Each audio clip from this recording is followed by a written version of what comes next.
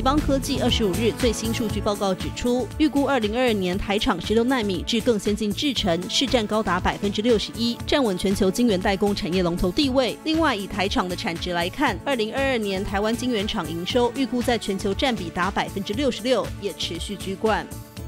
中国上海封控超过一个月，加上美国即将升息，市场对全球能源需求前景的担忧越来越严重。国际油价周一下跌，布兰特原油六月交割价下跌百分之四点一。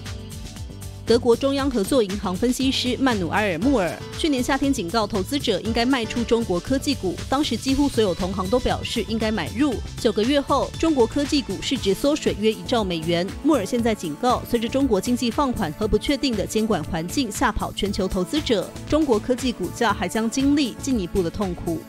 社交平台推特周一宣布同意以四百四十亿美元出售给特斯拉创办人马斯克。消息一出，马斯克钟爱的加密货币狗狗币价格在二十五日午后一度暴涨约百分之二十七。